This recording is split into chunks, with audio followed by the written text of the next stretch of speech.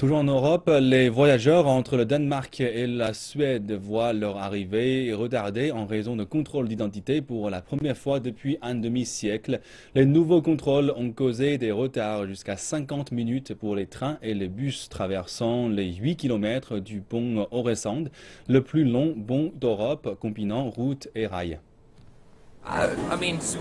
La Suède et le Danemark, cette région était une seule et maintenant elle est séparée par des contrôles aux frontières alors ouais, je suis vraiment déçu. Les bons jours, quand tout va bien, c'est seulement 100% de temps de voyage en plus, jusqu'à 60 minutes. Mais si les choses tournent mal, ça peut prendre encore plus de temps. Des passagers m'ont écrit que c'était un nouveau mur de Berlin.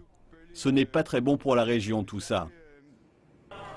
Les contrôles aux frontières sont de plus en plus stricts, mais ne concernent pas les voitures de particuliers.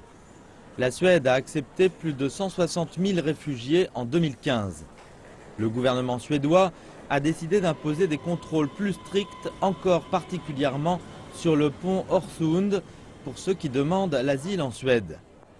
Pendant ce temps, près de 15 000 personnes traversent la frontière tous les jours et l'on craint que l'activité économique dans la région de Skane et à Copenhague n'en soit affectée.